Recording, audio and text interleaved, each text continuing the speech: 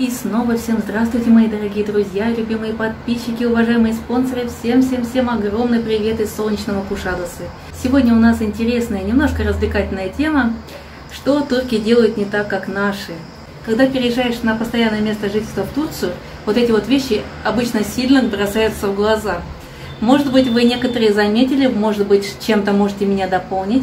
Поэтому давайте по списку. Прежде всего, как считают сдачу в магазинах. Турки очень часто очень интересно считают сдачу в магазинах. Это делается не с целью вас запутать, а именно так. Например, вы купили что-то за 3 лиры 75 куруши. Вы даете продавцу 20 лир. Ну как наши русские считают? Ну честно, мы считаем вычитанием. То есть 20 лир минус 3 будет у нас 17. И 17 одну лиру берем и вычитаем 75 курушей. То есть остается 25 курушей. Итого сдача должна быть 16-25. Правильно? Правильно. Как делают многие турки. Они отдают вам вещь, говорят, это у вас 3,75. Дают вам еще 25 куруши. Это, говорят, будет 4. То есть прибавлением считают. Дальше. Дают еще лиру. Это будет уже 5 лир. Дают еще 5 лир. Это будет 10 лир. И еще сверху десятку накладывают. Вот и 20 лир получилось то есть от обратного путем сложения. Если немножко поживете в Турции, тоже привыкните так считать. Я, в общем-то, и тем, и другим способом уже привыкла считать. Дальше, когда наши русские считают на пальцах, как мы обычно делаем? Один, два, три. Как делают турки? Они зажимают всю ладонь и делают вот так. Один, два, три.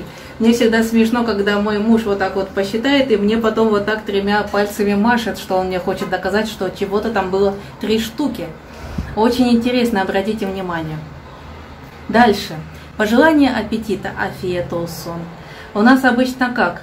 В начале еды желают приятного аппетита, ну и, в общем-то, кушают. В Турции пожелание приятного аппетита может быть в начале еды, в середине еды и в конце еды. Например, в конце еды вы говорите, все было так вкусно, чокли зетли. Они говорят, а, фетолсон. Типа, приятного вам аппетита, который вы уже испытали. И вы тогда говорите, Элене салык, здоровья вашим рукам. Дальше, четвертый номер. Особые сочетания вкусов. Если поживете в Турции, тоже к этому привыкните. Незрелые фрукты есть. Какие конкретно? Незрелая алыча, которая здесь выглядит вот так вот зеленая, появляется примерно в, в районе апреля, по-моему, мая. Ее очень любят хрумкать, она кисленькая такая, приятненькая, и ее непременно подают в тарелочке с солью. Я помню, даже в банк куда-то мы с мужем зашли, подали работнику банка не только чай, но и тарелочку с тремя штуками алычи и рядышком соль насыпана. То есть немножко надкусывают, в соль макают и дальше так вот едят. Еще что также солью едят, незрелый миндаль. Он тоже здесь появляется по весне, непременно попробуйте, он вот так вот выглядит – я его люблю, честно говоря, так кушать. Он напоминает мне чем-то по вкусу косточку от перезрелого персика. Тоже что-то вот такое особенное есть. Приятно хрустит на зубах, очень вкусно. Моя Машка любит это тоже кушать, дочка. Но турки тоже это дело посыпают солью. Еще что я нашла, что едят здесь, какой фрукт с солью. Айву. Нарезают более-менее мягкую здесь айву, присыпают солью, дают немножко времени постоять и вкус кардинально меняется. Но еще из айвы здесь делают потрясающие, в общем-то, сладости. Знаете, когда наполовинку айву разрезаешь, просто засыпаешь сахаром и в духовку. А потом ложечкой кушать. Безумно вкусно. Попробуйте непременно, когда вот айва появится. Далее, пятый номер. Что турки делают не совсем как наши? Наши, если делают комплименты, ну даже вот хороший комплимент сделают, например, «Ай, ты такая красивая, тьфу-тьфу-тьфу», чтобы не сглазить. Чтобы не сгладить человека, турки делают обратный комплимент. Особенно это у детей. Они говорят черкин. Черкин переводится уродливый, некрасивый.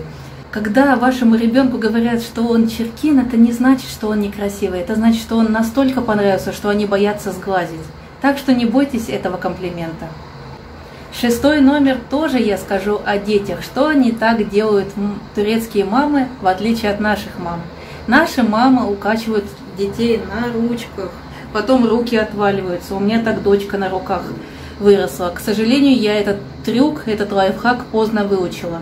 Турецкие мамы укачивают детей на ногах. Они садятся вот так вот, смотрите, ложат на ступни ног подушку, туда ребенка. Он получается как в лодочке и попой покачиваются.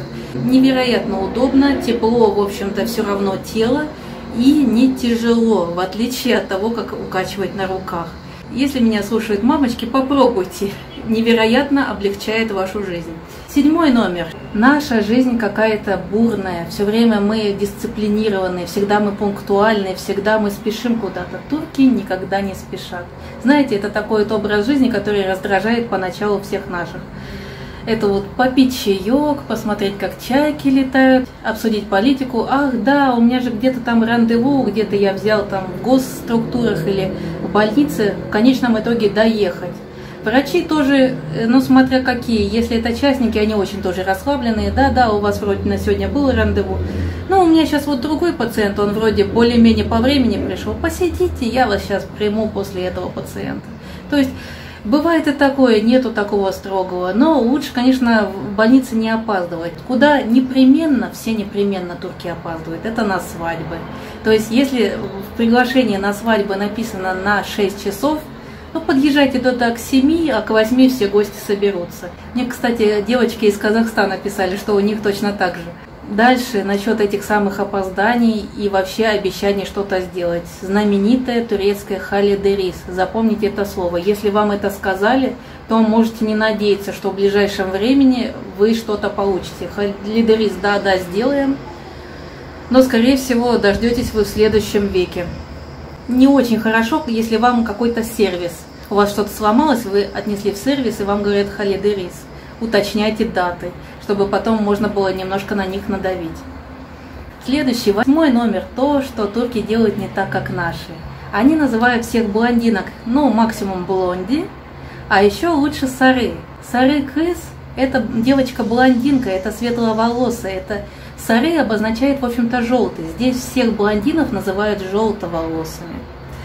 А вот если ак слово, то есть белый, здесь, кстати, не употребляют для обозначения цвета волос бияс, именно ак, белый.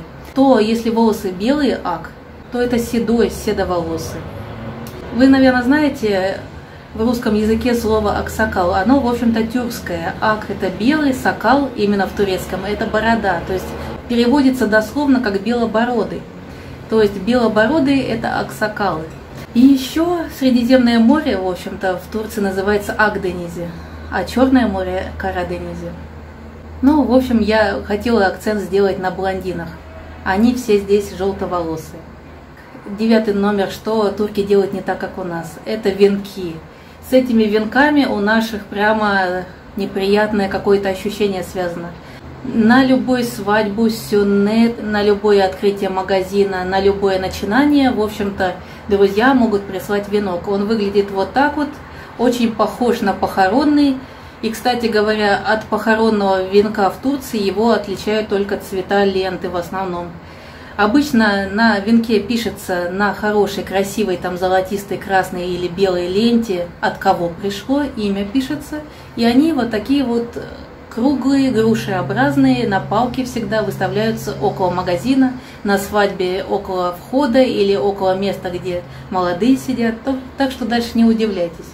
На похороны здесь доставляют примерно такие же венки, только с черными лентами. Дни рождения. Здесь с большим размахом, с заказыванием цифр, с заказыванием то есть декора и всего, чаще все-таки празднуются детские дни рождения.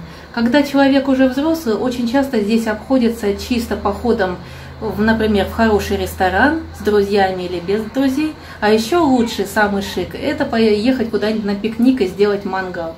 Хотя в другие дни, то есть выходные, то же самое делают эти пикники и мангалы. По сути, взрослые дни рождения особо здесь не выделяются. Ну да, уделяется некоторое время, типа празднования, типа провести приятное время с семьей, с друзьями, но прямо так сильно не выделяется. Девочки, которые сюда переезжают, они приучают более-менее своих мужей праздновать дни рождения, дарить подарки и так далее. Но в основном это не слишком принято, правда. На работе тоже, если вы где-то работаете в Турции, но день рождения вы можете принести тортик, всех угостить и все так далее. Скорее всего, вам никто не будет собирать деньги и что-то дарить. Иногда и такое здесь есть, но все-таки реже, мне кажется, чем у нас. У нас, в общем-то, если фонтанчики устанавливают, то они чисто питьевые. Здесь э, уличные фонтанчики питьевые, это в основном называется чешме, источник. Да, такой город есть в Турции. Но эти самые чешми очень часто устанавливают в память о ком-то умершем.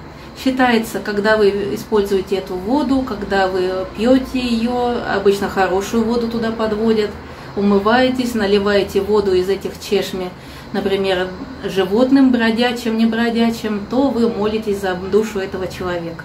И у меня последний, в общем-то, номер, который я нашла, что не так делают турки, в отличие от наших. Это немножко медицинские термины. Турки, в общем-то, более обращены по медицине к Европе, поэтому здесь э, Давление измеряется не в миллиметрах ртутного столба, а в сантиметрах. Если вы идете к доктору, то вы можете сказать, что у меня давление 12 на 8. Он вас поймет. Не говорите 120 на 80. Если уж говорите 120 на 80, уточните миллиметров. И для диабетиков еще один момент. Здесь сахар крови измеряется не в миллимоль на литр, как у нас, то есть как у нас считается норма 3,3, 5,5, но сейчас уже до 6 считается. Здесь измеряется в нанограммах на 100 миллилитров. То есть норма, ну легко запомнить, в общем-то, если вы в Турции, до 100. Но с этим обычно проблем не возникает, если вы просто сдаете анализы. Обычно рядышком каждая лаборатория пишет норму. И сейчас анализы все идут в лабораторных специальных распечатках, то есть сразу норма лаборатории указывает, очень легко сориентироваться, даже если вы не медик. Ну вот такое небольшое, интересное, короткое, информативное видео. Надеюсь, вам очень понравилось. Если вы что-то еще знаете, что турки делают не так, как у нас, непременно напишите в комментариях. Если вам понравилось видео, поставьте видео лайк. Подписывайтесь на канал, чтобы не пропустить новые мои интересные информативные видео. А на этом все, друзья мои. Всем любви, добра и счастья и пока-пока.